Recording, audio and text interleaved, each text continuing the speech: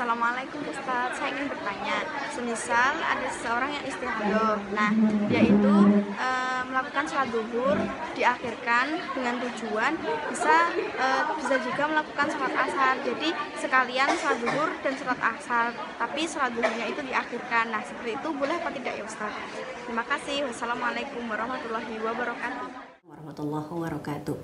Tadi Mbak tadi menanyakan tentang wanita yang istihadah apakah boleh mengakhirkan sholat zuhurnya di akhir waktu agar kemudian bisa sholat asar di awal waktu dan jedanya tidak terlalu panjang.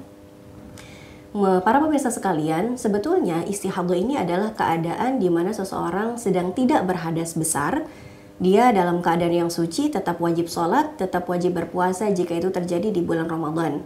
Hanya saja ketika dia ber, uh, melakukan sholat atau berwudu, wudhunya tidak seperti wanita yang sedang suci, tidak istihadah. Kalau kita, wanita yang tidak sedang mengalami istihadah, boleh-boleh saja melakukan sholat uh, fardu 1, 2, sampai 3 kali dengan satu wudhu yang sama.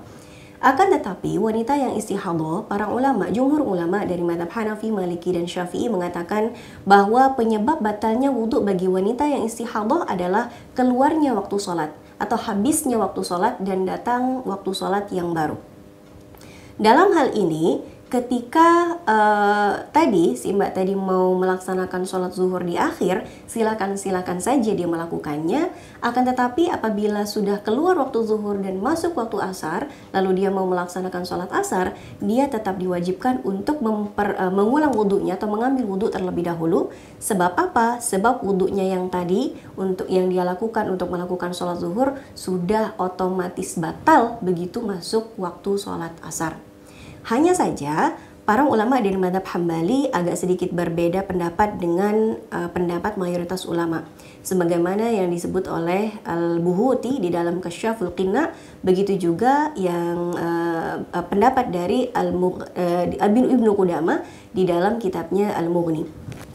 Kita uh, dengarkan sejenak pendapat dari Al-Buhuti di Kasyaful Qinna وتتوضأ لكل وقت صلاة إن خرج شيء لقول النبي صلى الله عليه وسلم لفاطمة بنت أبي هبيش توضئي لكل صلاة حتى يجيء ذلك الوقت رواه أحمد Jadi Al-Buhuti mengatakan bahwa apabila seorang wanita melakukan atau mengambil wudhu lalu kemudian datang tak lama kemudian datang waktu sholat dia boleh-boleh saja langsung sholat tanpa harus mengambil wudhu yang baru apabila tidak ada darah sama sekali yang keluar.